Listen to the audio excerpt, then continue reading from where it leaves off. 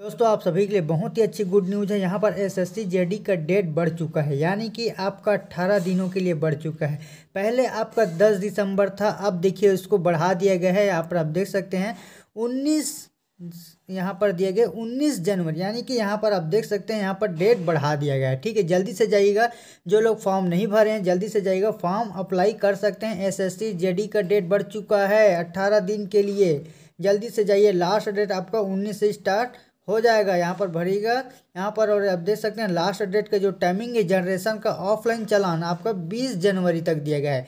यानी कि अच्छी गुड न्यूज़ है और ऐसे और भी जानकारी चाहते हैं तो जल्दी से वीडियो को सब्सक्राइब कर लीजिएगा, ठीक है?